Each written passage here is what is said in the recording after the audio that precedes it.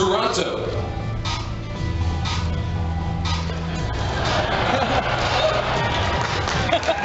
Paris.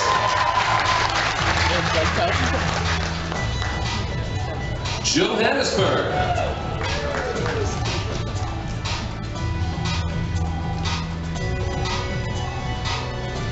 And of course, all around me, New York City.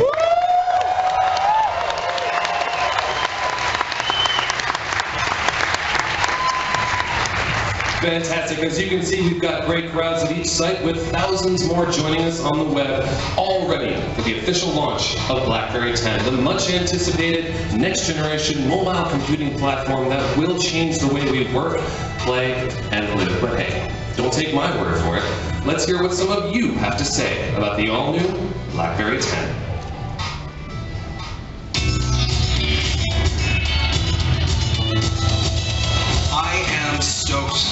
BlackBerry 10. BlackBerry 10 is sleek. Actually, when I first saw it, I was like, wow. The openness of the BlackBerry 10 What has the response been from developers in the Ribbon community? actually pretty phenomenal. Uh, you know, we've seen all kinds of uh, developers that we've never seen before, young people. So, for example, in Latin America, we had a 12-year-old get up and get a pitch. Um, in one of our pitching contests, his dad actually had to do the translation because he didn't speak English. Um, in uh, India, we saw another 15-year-old who'd written a book about programming for BlackBerry 10. And of course, we've been seeing this huge groundswell of support.